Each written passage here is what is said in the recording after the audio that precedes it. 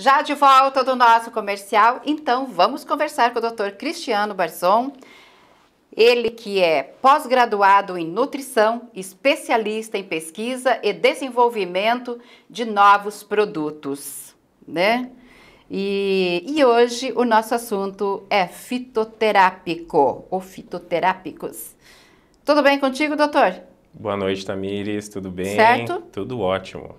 Então, no final do nosso bate-papo, daí ele tem uma novidade para falar para vocês aí, né? Da nossa Export. Então, vamos lá. É... Eu vou ler algo aqui para vocês a respeito. Você sabia que, o que a principal diferença do, dos fitoterápicos em comparação aos medicamentos comuns são que eles utilizam exclusivamente princípios ativos de plantas medicinais.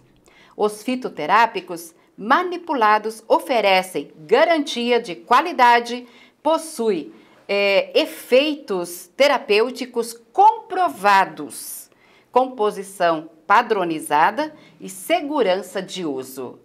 Farmácia Laborderme é a farmácia de manipulação. Então vamos lá com a minha primeira pergunta, doutor. Preparado? Sim. Então vamos lá. o que são fitoterápicos? Então, Tamires, é agradecer mais uma vez, né, por trazer esse tema de tão grande importância. Né? Verdade. Né? A gente procura lá no dia a dia, lá na, na farmácia, tentar trazer tudo aquilo que é dúvida da população, uhum. né? E hoje a gente vive mais uma vez num mundo muito complicado, muito complexo, né, de infelizmente de muita falsificação. Então é de tão grande importância a gente realmente trazer esse tema aqui e levar essa segurança para a população, né, deles entender o que comprar, onde comprar, como comprar, né, qual que é realmente o produto ideal para mim. Né? Então, assim, é, fitoterápico, na verdade, são produtos é, obtidos através de plantas e vegetais. Né? Então, quando a gente fala em fitoterápicos, a gente está falando em produtos naturais à base de plantas ou vegetais. O, o, legal da gente entender é que nem sempre um chazinho é um fitoterápico, né? porque o fitoterápico mesmo, ele é um produto que ele é estudado, assim como um medicamento é estudado. Né? Então, assim, ele passa por um processo rigoroso de estudo, né? onde você precisa entender realmente qual a indicação dele, né? qual a dosagem dele, né? qual horário a ser usado, né? Então, assim, para você entender o grau de complexidade, eu posso ter uma planta que a folha vai ter uma função para ansiedade e às vezes a fruta vai ter uma função para diabetes. Uhum. Então, numa única planta. Né? Uhum. Então, assim, é, é, um produto que realmente tem que ser muito estudado para que ele possa ser seguro o seu uso. Né? Então, quando a gente fala em, em produtos de fitoterápicos, né, e a Laborderm traz muito bem isso, porque ali a gente tem um controle de qualidade rigoroso, né, e fornecedores capacitados, catalogados, então a gente está dizendo justamente isso. Tudo que você compra na Laborderme, seja uma castanha da Índia, que é um fitoterápico, seja um ginkgo biloba, por exemplo, que é um fitoterápico, né? Seja uma prescrição, por exemplo, de uma curcuma, né? Você está comprando um produto que realmente tem uma procedência, né? Ele tem um estudo, né? A gente tem literaturas que traz realmente tudo, desde o nome científico, nome popular, indicação, aonde ele atua no seu organismo para fazer aquele efeito, né? Então a literatura ela traz tudo isso, né? Diferente às vezes de um chá que eu compro ou que eu pego no fundo do quintal achando que é aquilo e nem sempre é porque as plantas se confundem muito. Não é porque é planta que dá para fazer o que quer. Exatamente. Na maioria das vezes, você não consegue a olho nu identificar o que, que é uma camomila e uma camomila é falsificada. A diferença é, assim, praticamente só não existe. Só para quem conhece bem mesmo. Exatamente. Pra... Só um profissional da área realmente, com controle de qualidade equipado, né?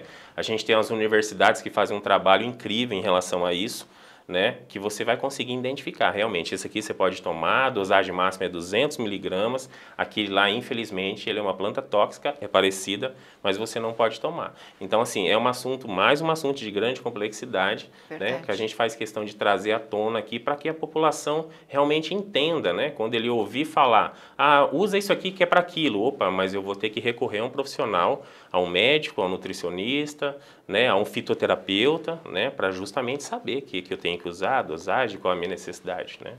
E é verdade, porque muitas pessoas vê, ó, a vizinha vê alguém gripar e fala assim, ah, toma chá disso.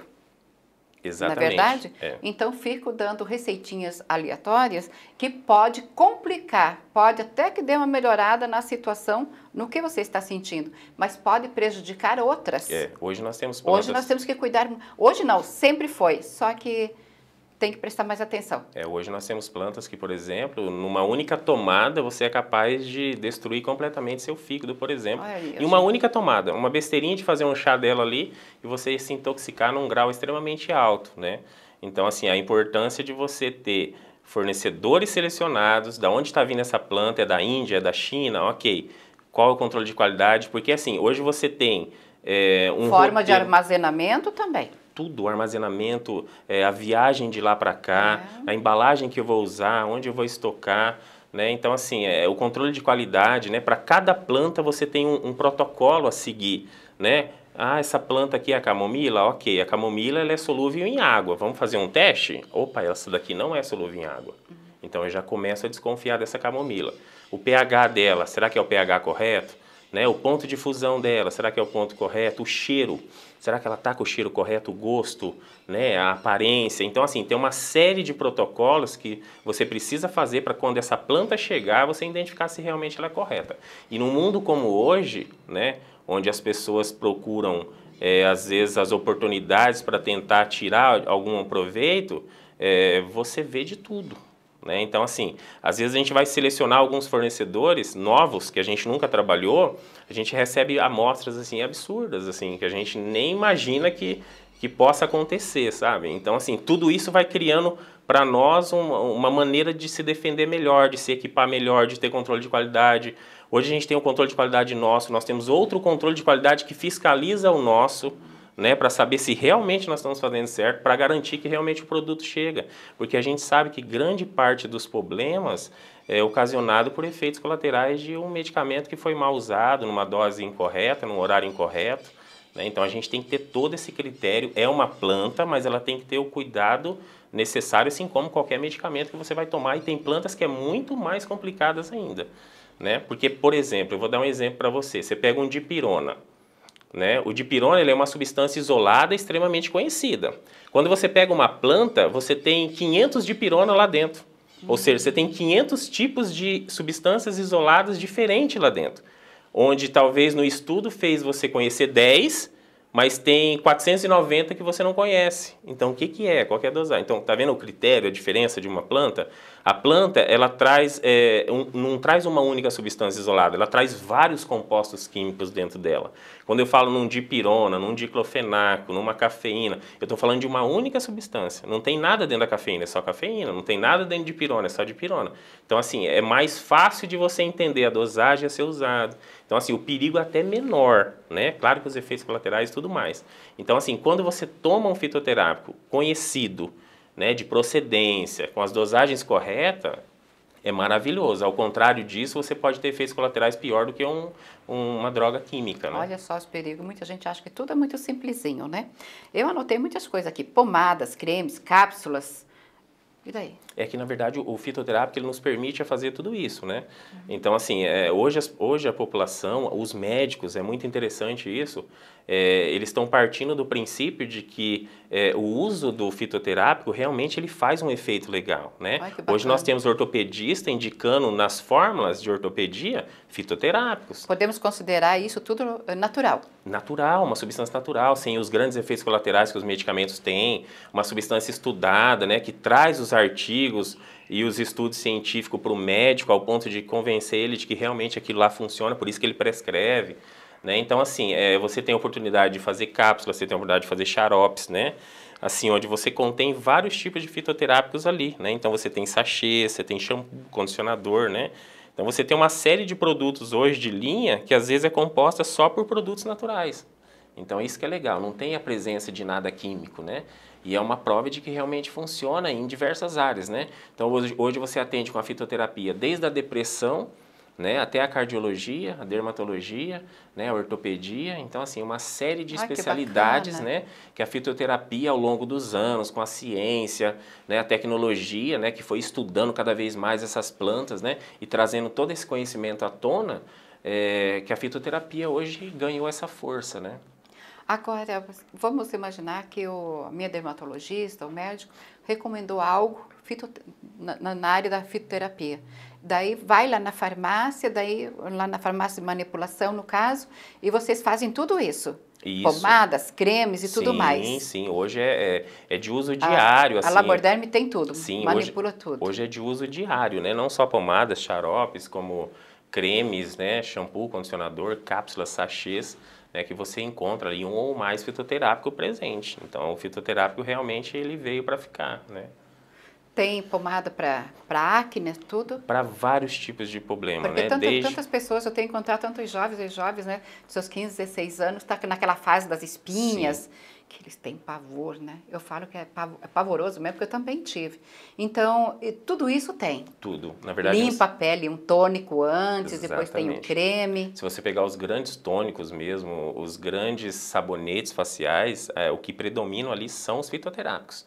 Né? O, o que existe hoje, que é interessante a população também entender, né, os prescritores, é que hoje eu tenho a versão fitoterápico para cápsula, eu tenho a versão fitoterápico para creme, shampoo, condicionador, né? Eu não posso usar um pozinho, por exemplo, de um ginkgo biloba dentro de um creme.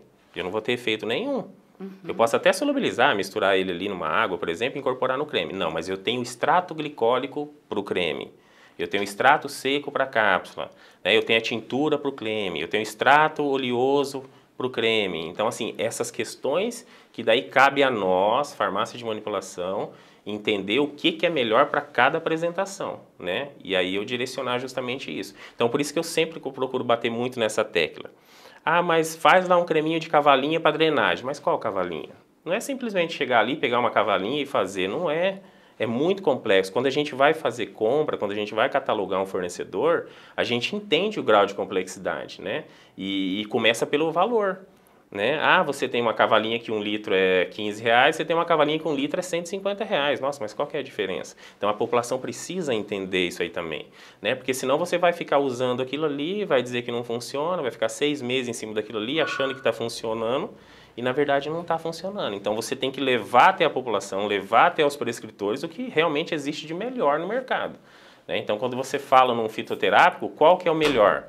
Né? Então você tem fitoterápico de várias concentrações, né, Tamires? Então isso que é importante também, né? O nosso papel mesmo é justamente mostrar isso. Né? Não é só simplesmente chegar e pedir, mas qual? Né? A gente precisa ensinar a população a, a exigir isso daí. Agora vamos imaginar que, tá, eu vou lá na farmácia, eu vou pedir algo, como eu comentei, para acne e alguma coisa assim. É, mas e daí como que fica? Ele não trouxe prescrito nada. Uhum. E daí? É, na verdade, assim, a gente sempre orienta que procure um profissional, né? Que, Seja que um venha. dermatologista. Isso, exatamente. O profissional prescritor, o médico, o nutricionista, dermatologista, ele já estudou justamente para isso. Identificar o problema, né? E passar o, e prescrever a solução correta. Nós, como farmácia de manipulação, nós temos que levar até aquela prescrição o que existe de melhor, que é o que ele está pedindo. Né? Ele não quer que eu substitua aquela prescrição. Quando ele pede uma castanha da Índia para um creme, eu tenho que levar realmente a castanha da Índia para o creme. Eu não posso, ah, eu tenho a da cápsula que eu vou colocar. Não, eu tenho que levar a do creme. Né? Então, assim, quando ele não passa no médico, aí cabe nós, farmacêuticos, entender a necessidade dele, né?